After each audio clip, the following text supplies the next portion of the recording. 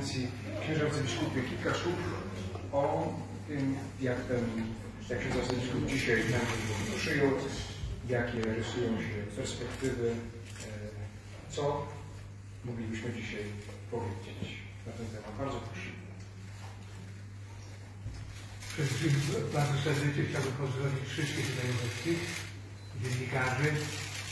To zainteresowanie myślę, że jest dla nas też trochę wyjątkowe i z jednej strony cieszę się, że to zainteresowanie mediów jest tak duże, a z drugiej strony też dziękuję i liczę na to, że ta współpraca będzie się jakoś układać dobrze nawet i że będziemy starać się przekazywać rzeczowo i właściwie informacje, których no zawsze się jest bardzo dużo.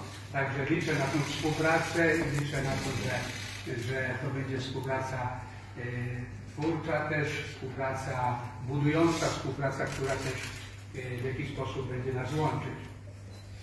Oczywiście co do mojego wyboru, myślę, że w sumie y, dla mnie jest to jakieś zaskoczenie duże, dlatego że owszem media tak czy inaczej gdzieś tam wspominały o nazwisku, tym niemniej ja nie mam aż tak dużego stażu biskupiego, zaledwie 7 lat, więc byłem raczej przekonany, że ktoś, ktoś inny wyjdzie jako przewodniczący.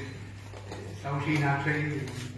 Przyjmuję tą wolę y, biskupów jako taki ogromny kredyt zaufania y, z nadzieją, że wspólnie będziemy prowadzić nasz Kościół w Polsce drogami, które które w jakiś sposób trzeba będzie odkrywać i które chcemy odkrywać, bo wiemy, że e, Kościół zawsze się reformuje w jakiś sposób, Kościół zawsze szuka nowych dróg przekazu Słowa Bożego, Kościół zawsze stara się docierać do ludzi, przekazywać te treści, które są najważniejsze, ale treści i odpowiednim językiem, językiem zrozumiałym, językiem, który, który będzie budował, który będzie jednoczył, językiem, który przede wszystkim wnosi y, coś dobrego, coś konstruktywnego y, do społeczności naszej.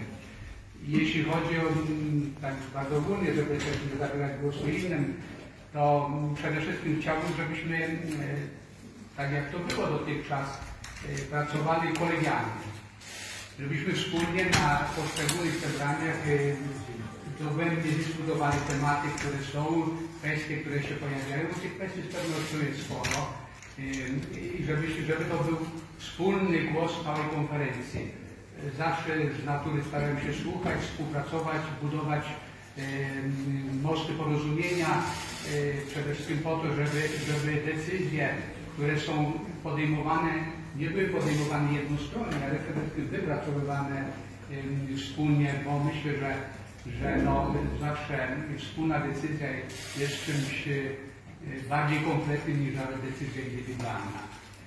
E, także dziękuję wszystkim biskupom za ten wybór i, i z mojej strony chcę zrobić wszystko, żeby nie zawieść właśnie e, tej nadziei, czy tych nadziei pokładanych w mojej osobie.